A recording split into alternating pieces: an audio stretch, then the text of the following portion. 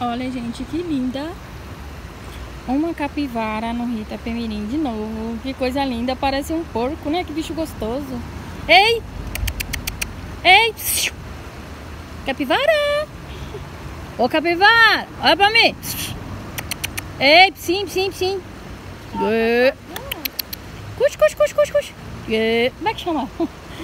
Olha a mãozinha dela. Olha a mãozinha dela, que bonitinha.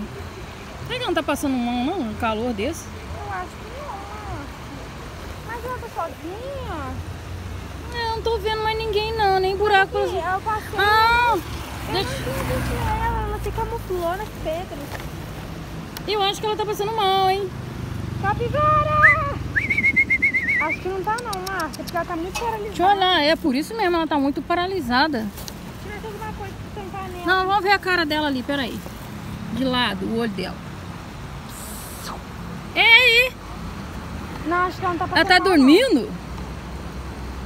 É aí! Ela chegou aqui agora, eu acho. Mas ela tá sozinha? Capivaras andam sozinhas? Não sei, deve ter o marido, os filhos. A gente não deve estar vendo, né? Eu só tô vendo ela. Eu também, mas pode ter algum Sempre vi capivara aqui, mas ela tá tão quieta, se pudesse plantar pra ver se anda.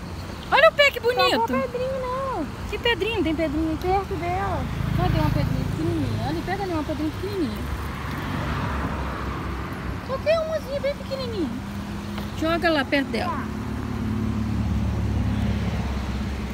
É, Ah, tá nem aí, cara.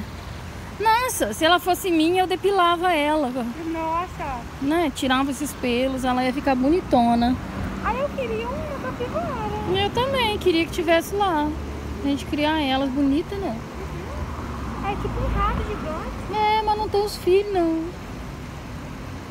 Capivara. Ei, Capivara. é fazer ela acordar, né?